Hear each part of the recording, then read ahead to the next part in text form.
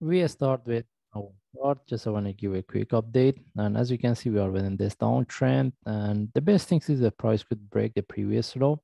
Anyway, we start with higher time frame. We want to see what we have been looking for. And if we move to daily chart, and if you refer based on daily chart, if you refer to our analysis, we mentioned we're looking for this correction.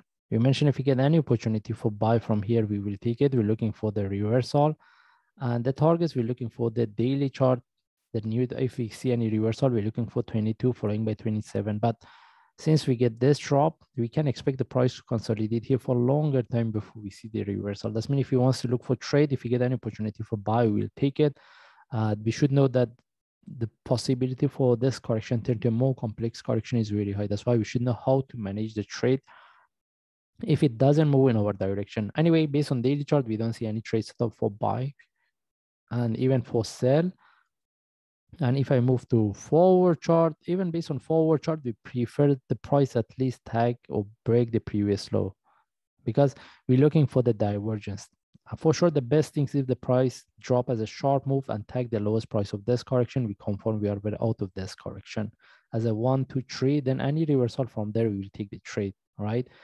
Because the, the question is whether we should consider this one as a part of the correction or not, because if we want to refer to the indicator for the divergence. Anyway, depends on the strategy and the method that the traders they use. But the best thing is at least the price break the lowest price of this correction. Then from there, we look for the reversal any opportunity for buy, we'll take it as a reversal.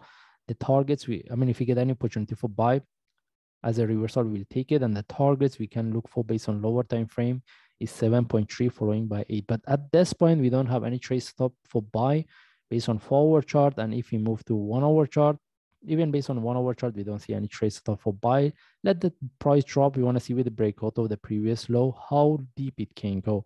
But if we get any opportunity for buy as a reversal, we will take it. And at this point, we don't see any trade setup for buy. Selling, I'm not really interested to look for sell. We can look for the small short-term trade. Mostly we have to look for trade based on lower time frame, but we are not really interested for sell at this point unless we see the deeper correction. All right. If the price give us a deeper correction similar to what we have here, then yes, we can look for consider whether we should look for sell or not. But at this point, we're looking for the reversal if we get any opportunity for buy. At this point, we don't have any trade set up. In this case, we just follow the chart. If I see any update or any trade set up, then I will share. Thanks.